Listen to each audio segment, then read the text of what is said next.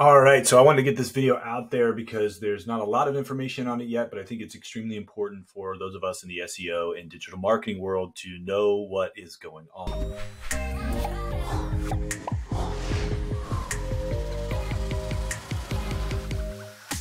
So Google has just announced Bard, and it's their response to ChatGPT. So what the heck is Bard? Well, this is an experimental conversational AI, and it's powered by their language model for dialogue applications. Uh, it's called LaMDA for short. So Google can answer questions that might not have one right answer. We know that Google's been working in the world of AI for quite a long time. They were behind massive leaps forwards with their work in Transformers, and we saw BERT coming in behind the scenes years ago. Just two years ago, they announced MUM, which also allows them to apply these language models to more types of media. So we're not talking just about text, but video and audio and the like. They've continued to grow in this area quite a bit over the last few years. And now they're getting into the chat game and how that plays with search, we'll find out. Right now, this has not been rolled out, but it is going to be coming in the next few weeks, they say. Uh, right now, it is being used only by trusted testers who is able to play with it right now and give some feedback. There's a lot more to this story. If you just go head over to SE Roundtable, they do a great job of covering all this. So I'm going to be citing them throughout this as well as citing Google's release. Uh, if we look at Google, this is what they're saying about it. You'll see AI powered features in search that will distill complex information in multiple perspectives in easy to digest formats so you can quickly understand the big picture and learn more from the web. Whether that's seeking out additional perspectives like blogs from people who play both piano and guitar, this was referring to uh, one of the examples, or going deeper on a related topic, like the steps to get started as maybe a beginning musician. These AI features will begin rolling out on Google search soon. You can learn more about that on blog.google, uh, where you can find a lot more information on the topic. All right, so let's take a look at what this looks like in, in real life. This is a, a maybe a little bit smaller screen, so you have to zoom in, but I'm going to go ahead and just tell you what's going on here. The query says, is piano or guitar easier to learn, and how much practice does each need? Now underneath, you see this answer that looks very similar to a featured snippet. Below that, we've got some blog articles and a Quora panel here. Um, but as you can see, this is something that we probably are used to seeing, something like a featured snippet. But I want you to really look at it and notice something. Is there anything missing?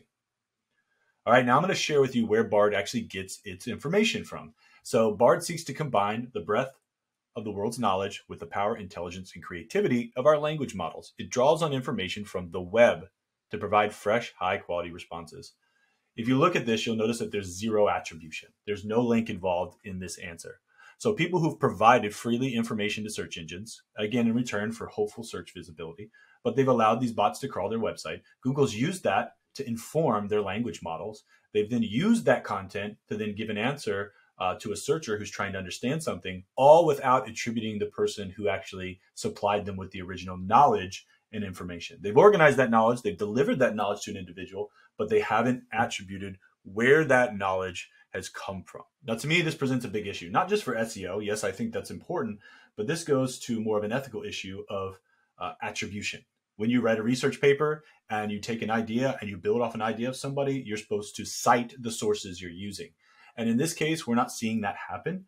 Uh, now, this is just an early screenshot of what could potentially roll out to everybody else. But if Google is not going to cite these sources and they're not going to disclose where this information is coming from and they're not going to credit the content creator behind this source of knowledge, to me, that's a big miss. And honestly, I think that's extremely unethical because these are the people that drive the web. Content creators drive the internet. And that's how these language models grow and learn by using other people's information. Now, I get that we allow them to use it freely and then we get to be on their platform, but in the past, we at least got an exchange with a link. We provided some sort of attribution.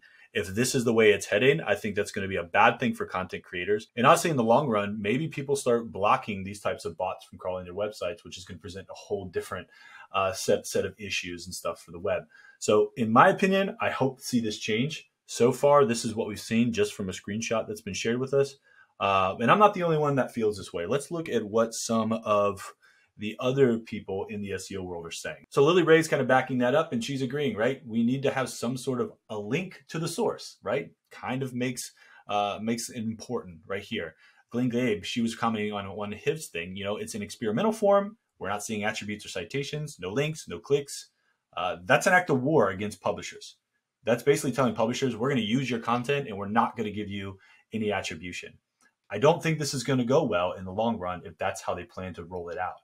Uh, we see this over here. Again, I thought they would include some sort of citations, um, but apparently Google's got it wrong here. And then we see it down here again. Uh, the guy who wrote this great in depth article on how to teach people to, to learn learn music and the best ways to do it and when to practice, he's getting no credit because they're just scraping his idea, compressing it into a small form, and giving it to the user without telling the user where that came from. Um, so content creators are losing. We're in an AI war, so it's going to be interesting to see what happens. We know that Bing has partnered with ChatGPT.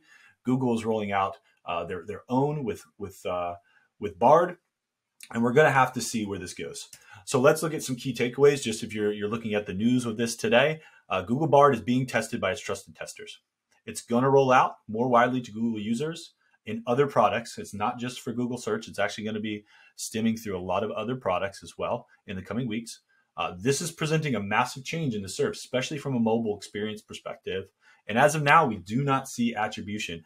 Go learn for yourself. Uh, read on the Google blog. Go ahead and check out SE Roundtable and learn more there. If you got any questions, comment on this video. I'll do my best to answer them. Obviously, this is something very new, and I am not a trusted tester, so I don't get to see the behind the scenes yet. And as we begin to see this roll out, we're going to look at it much more deeply. Uh, but yeah, we're going to have to see where the, where we go from here.